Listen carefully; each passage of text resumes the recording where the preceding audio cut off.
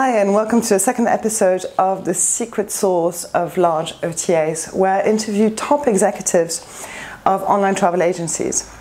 In this episode, I've interviewed Lisa Chen. I had the honor of interviewing Lisa Chen, who is a top executive at Expedia. She used to be Vrbo, and, uh, and this is why she's now the best representative for us property managers uh, within the Expedia group. She makes sure that all our needs are really taken care of uh, within all the brands that Expedia owns.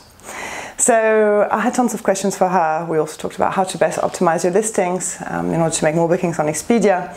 So it's well worth listening to this episode, both on podcast and on YouTube. I'll see you on the other side. Cheers.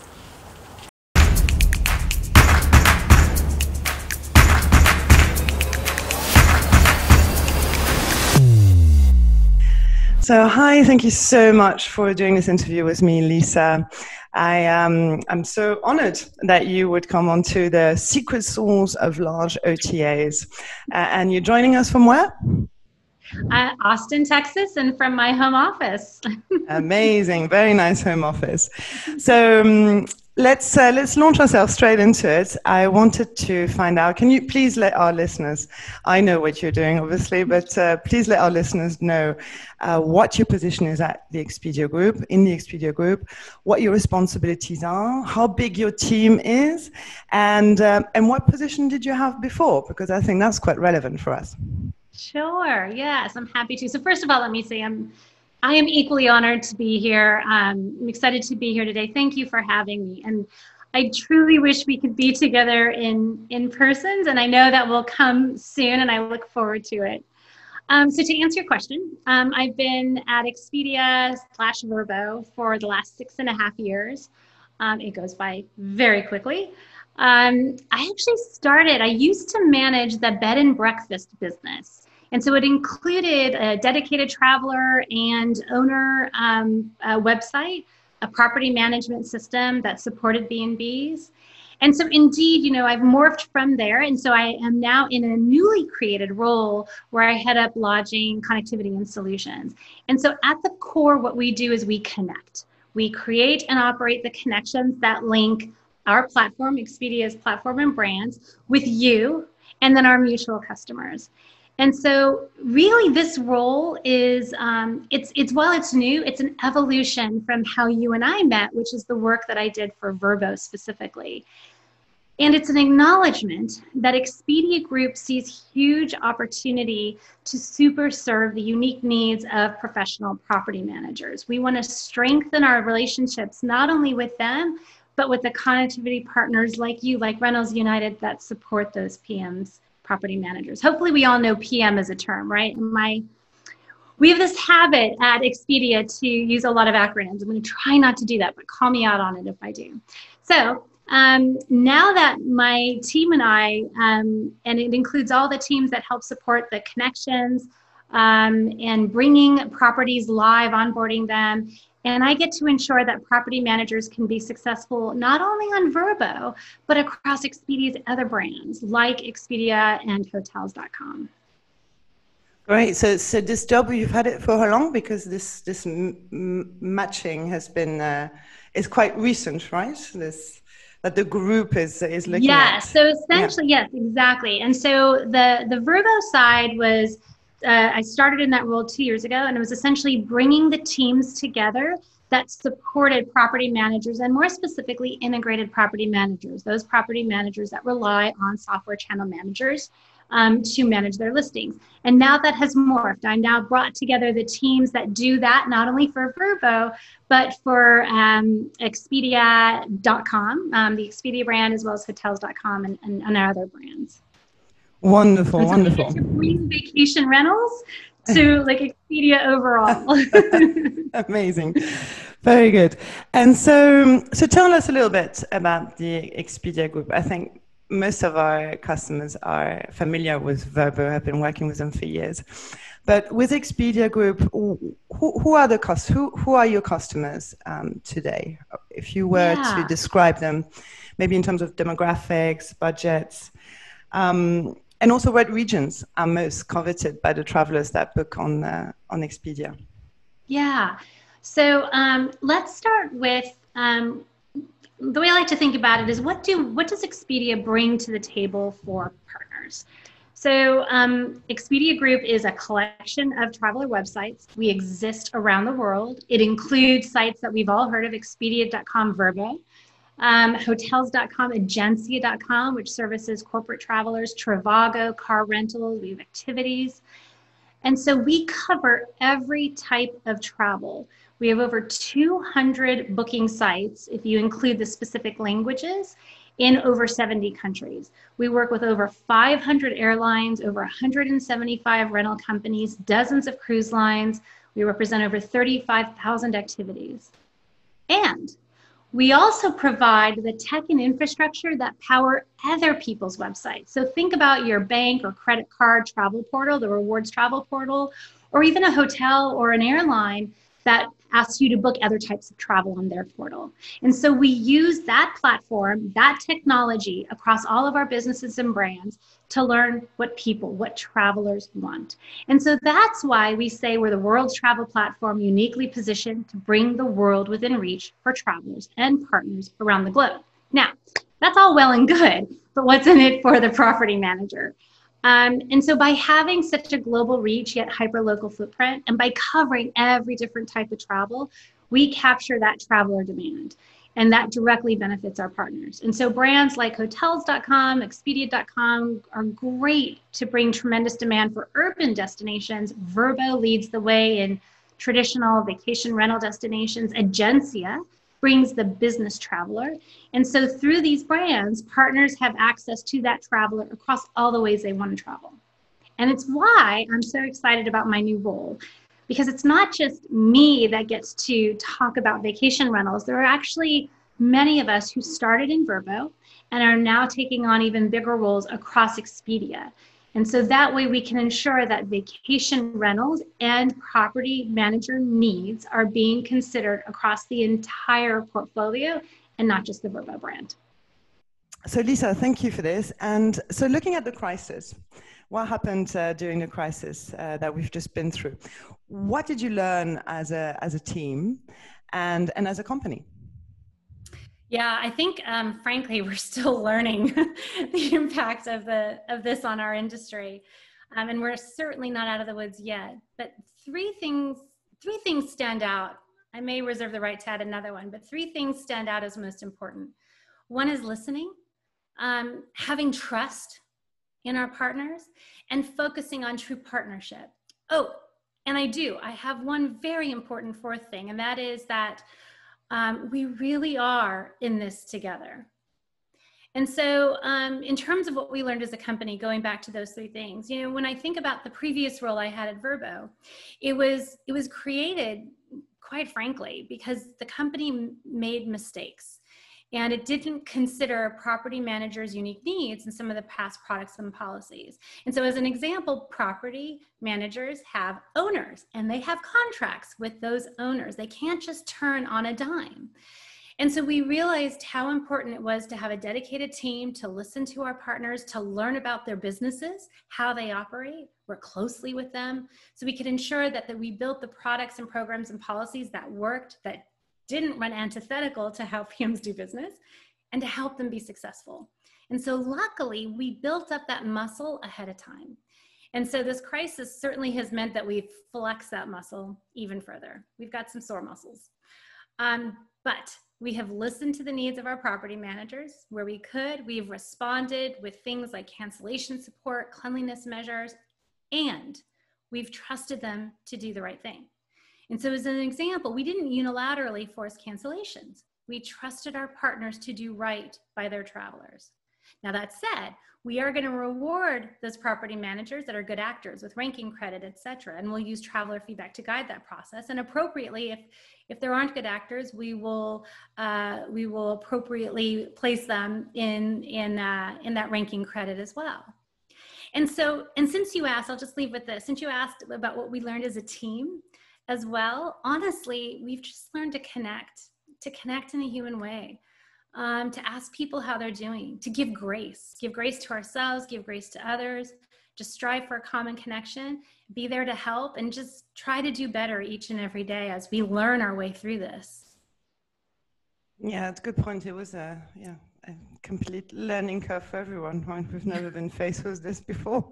Um, but beautiful words, um, Lisa. So let's go back to marketing. Um, where is the company investing its marketing dollars right now? Can you answer this? What and what new features are you launching? relating to yes and I'm, so thank you i'm glad you asked about the features because it goes way beyond just marketing dollars so really the teams at Vrbo and expedia broadly are hyper focused on fast tracking recovery for partners businesses and advancing the value of partners offerings. And so we're doing this in four main ways product and policies marketing and merchandising data insights and some industry wide efforts. And so now I'll drill into each one of those pretty quickly. So, in terms of products and policies, it's things like flexible cancellations, extended length of stay. So, we've introduced the ability for property managers, where possible, to accept bookings with a length of stay longer than 32 days, up to 180 days, as well as more flexible cancellation policies and the ability for travelers to initiate a cancellation or change request, streamlining the communications and resolution. It's still in the PM's court, but we've streamlined the communications efforts around it. Um, in addition, we have our own property management software, Escapia. And so we've introduced features on there like a comprehensive cancellation report and then streamlined traveler communication capabilities because we've been hearing a lot from travelers around changes and other questions that they have. For marketing and merchandising, the best thing we can do is to get travelers booking again. And so we've taken steps to better merchandise safety, cleanliness, cancellation policies, running ads that promote the benefit of VRs, vacation rentals, quickly committing marketing investment as we see signs of recovery and demand in, in individual markets. So we've built a, a fast twitch muscle, if you will, around deploying our marketing dollar. And then data and insights. We're focused on coaching PMs how to improve performance, educational materials, webinars, articles that cover traveler trends, and we have those available on our Discovery Hub. And then lastly, we've been heavily focused on industry-wide advocacy and recovery. And so there's two things. One is that we've actually put together a new program called Expedia Group Academy, and it's an educational program designed to bring new skills specifically to furloughed travel industry workers and other small lodging partners that just want to up level their skills. And we're kicking that off in June. And if partners are interested, they can learn more on our LinkedIn group page. And then lastly, but most importantly, is government relations. And this is where like my heartstrings have been tugged because I've loved to see how quickly the vacation industry or vacation rental industry has come together. We've been working in partnership with folks like you and industry associations like VRMA and other partners and so there were so many destinations that were either impacted by restrictions um, or we needed to ensure that they were part of um, government programs like in the US, the CARES Act. And so we've been working nonstop with local officials and partners to ensure that short term rentals are considered. And so when I said earlier that we're all in this together, I saw this firsthand. And it made me so proud to be part of the vacation rental community. And so, as an example, with the CARES Act, in less than 72 hours, Vrbo partners sent in 25,000 emails to US congressional leaders. And with that overwhelming support, we were able to be uh, successful in ensuring that vacation rental companies were included in the CARES Act. Wow, that's incredible. Thanks for your support. That's amazing. Wow, wow, wow. Um, I didn't know about this, so okay, that's a great piece of news. Um, and tell me, I want to pick on one thing because it actually leads me to the next question. You said that you're increasing the number of nights that can be booked to 180 days. And, uh, and so as a result, is that something that you see as a trend when it comes to vacation rentals? Do you see like longer term bookings? And um, and also there's another trend that we saw all around and that many people speak about is, is domestic travel, right? As borders are closed. Um, so yes, if you could tell us about these these two trends, that would be amazing. Absolutely. Now we get to the fun stuff, which is that how cool is it that vacation rentals are leading out of the gate in terms of travel recovery. It has been so awesome to see. And I'm teaching my son, who's three and a half, the word awesome. And I truly do mean it in this sense because we tend to use it a lot. It really has been wonderful to see vacation rentals lead.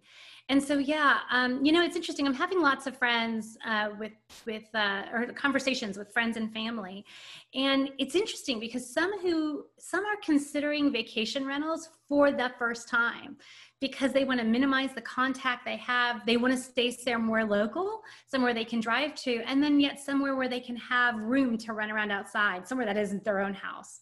They're like, it, it could be any house. I just don't want it to be my own house or apartment.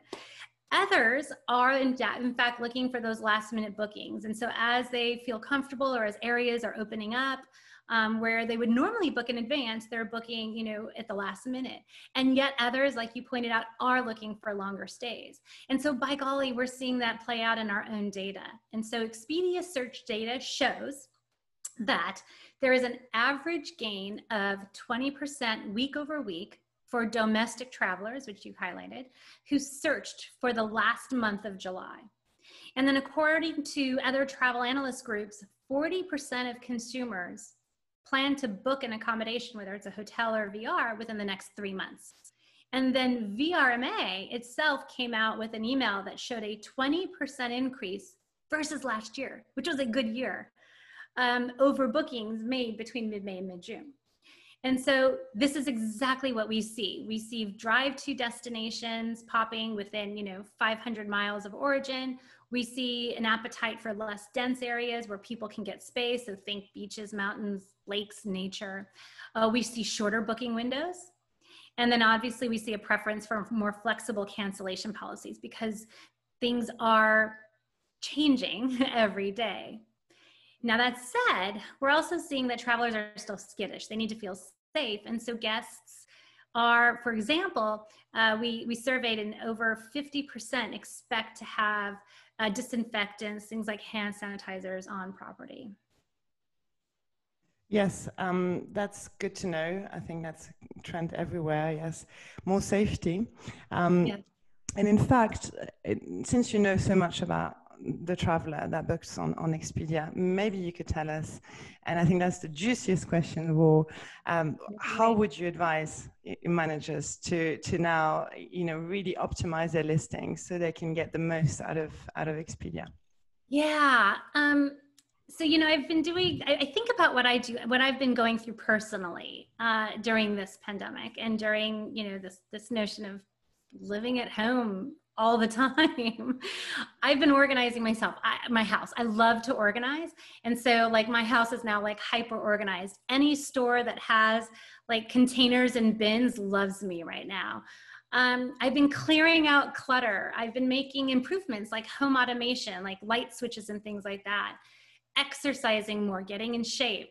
Um, haven't gotten into the baking and the sourdough starters, but when I think about these things, um, they also apply to PMs. And so it's about cleaning and organizing your house and listings, both figuratively and literally. So let's go back to the traveler mindset. They are desperate to travel, they are desperate to get out of their house, their apartment, where they've been locked up. But safety matters so much. So, first and foremost, it's about making sure your cleanliness measures are clearly and cleanly pardon the pun, laid out for travelers to build their confidence in booking your property. Show, so not only should it be in your attributes and, and in your FAQs, but show photos. Show a photo of a hand sanitizer bottle in the kitchen, or, or show photos of cleaners wearing gloves and masks as they, you know, shake out the beds or what have you try to avoid cancellations. Provide credit allow future date stays but if, at all possible try to avoid cancellations. Um, and then some of these other things frankly are evergreen. And they're just about you know making sure your listings are healthy. Um, and that is response to inquiries in less than 24 hours.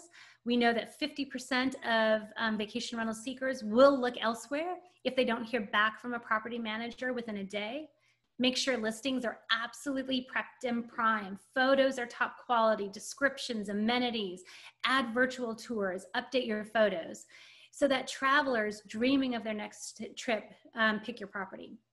And then lastly, um, call us, talk to us. We're human. we are people that love this industry, and we're here for you. We're here for PMs. This is a partnership. We are all in this together. And so, together, we'll come out of this even stronger. Wonderful. Well, thanks so much. So, so nice to hear you talk uh, with all your passion for the industry as well. Thanks so much. It's there. Yes, I'm yes. you could really. myself. Does Yeah. it come across? yes, totally. we'll get to Lisbon, don't worry, Lisa. uh, well, thanks so much. It was most interesting. I won't take any more of your time. I know you're very busy. So thanks again and um, see you next time. All right. See you next time. Definitely. Exactly, exactly. Cheers, Lisa. Right, thanks. thank. Cheers. Bye bye.